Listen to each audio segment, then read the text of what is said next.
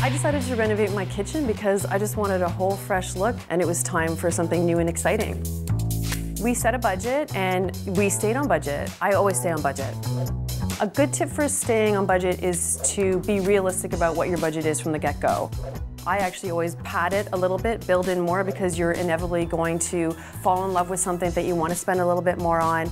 So don't undercut yourself on your budget. Make it substantial.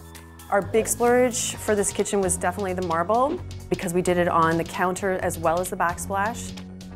And as well, I wanted a great quality stove because I was really tired of my pots of boiling water not boiling. The biggest area where we saved was on the inside cabinetry. We went with a big box company with standard cabinets for down below and then made custom doors. So that was a great saving. I think my husband and I came up with this really nice detail on the cabinet doors, and it's this sort of raised beveled edge that goes right around the side. I like it because it's sort of a new take on a panel. The biggest obstacle we came up against with our budget was that our contractor ran off with our deposit. So that wasn't good. So we had to find a whole new contractor. I think the lesson learned was we tried someone new because we thought we might save some money. Don't do that. Stay with the person that you know, that's tried and true, that you have a good relationship with, and you probably won't run into any problems. Lighting was really significant in this kitchen. I'm all about having different kinds of lighting. In this one, we have four different levels of lighting. We did not move any electrical or plumbing with this design, and that was one of the ways we saved some money. Just follow the same footprint, but change the, the whole shell. We renovated our kitchen because we were renovating the entire house, so the kitchen had to go. In regards to the budget for the kitchen, it was within reason. There was elements that I wanted to splurge on, but overall it was kept to a tight budget. The elements that we saved on were using the 3x6 subway tile, but we also used ready-made cabinetry from a big box store. It was a no-brainer to add the pot filler because the plumbing already existed. So there was no extra cost for that. It was just an extra fixture to purchase. Within the kitchen, we use two different countertops. Around the edge of the kitchen is all quartz. I wanted the harder working surface on the outside because of the stove and over the island is marble.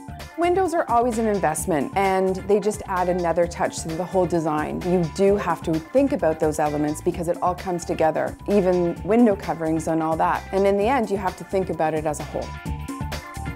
Well, with our renovation, we actually moved out of the house because our whole main floor was being gutted. I often suggest to people that they do move out. It's very messy, it's very dusty, and I think for everyone's well-being, you're better off moving out if you can, but I understand if you want to stay and be a part of the process.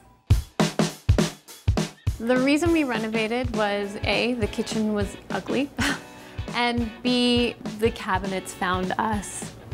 I found these cabinets at a Habitat for Humanity restore and they were in such good condition and so inexpensive that I couldn't not buy it. We didn't have a huge budget. We definitely saved thousands of dollars on the cabinetry. A quick fix on cabinetry is always paint. Some people have great bones, great cabinetry. They don't like the color of it. Paint can completely change the look and it's fairly inexpensive.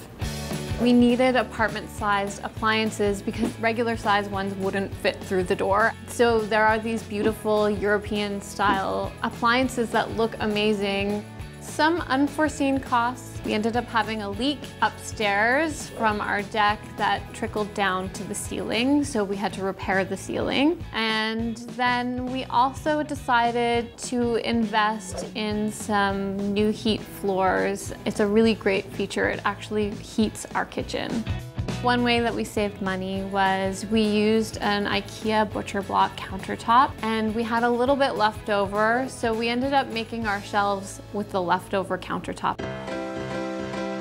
The kitchen is very important to us. For us as a family, renovating our kitchen was a no-brainer. It was 100% worth every effort we put into this kitchen. We spent a lot of time there, so it was important to have a space that was functional and beautiful. It opened up our space, it's welcoming, and it just works better for us. It's definitely added value to the home. It is the show-stopping piece. It's gonna sell the house.